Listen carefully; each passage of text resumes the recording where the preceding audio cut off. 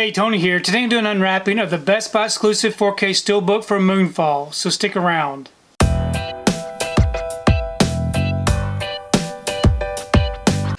So today I've received my order for Moonfall. This is a Best Buy exclusive Steelbook featuring the 4K Ultra HD, the Blu-ray, and the digital.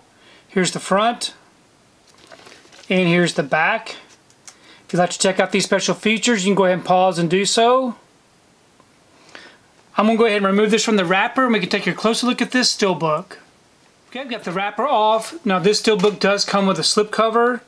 So again, here's the front. And when we remove the still steelbook from the slip, we get this image right here. Really nice looking image. And then here is the back.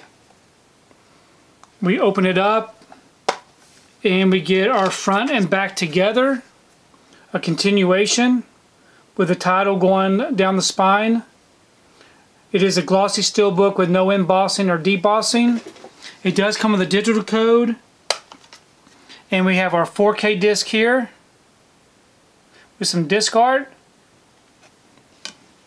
And we have our Blu-ray disc with some different disc art. And then we do have some inside artwork. So overall it is a really nice looking steelbook. So I've gone ahead and I placed this steelbook inside this protective bag. This bag will help keep the steelbook from getting scuffed up on the shelf up against my other steelbooks. I do have an affiliate link down below where I purchased these bags off of Amazon if you're interested in checking that out. I did want to go ahead and take time just to show you the other releases that I got. I did pick up the Target exclusive with the lenticular slipcover.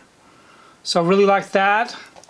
And I also got just the regular Blu-ray release with this different artwork and also picked up the 4K release with some different artwork.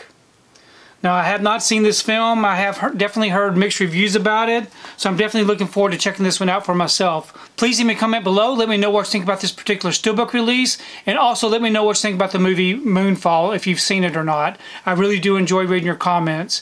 If you like what you saw here today, please give it a thumbs up and share the video. If you haven't subscribed to my channel, I really appreciate it if you would subscribe. If you do subscribe, please remember to hit that notification bell so that you can be notified every time I upload a new video. If you haven't found me on my social media accounts, I'm on Instagram, Instagram, Twitter, and on TikTok. And if you'd like to find out what I've been watching, you can find me over on Letterboxd. I do have links below. But thanks again for watching, and we will see you next time.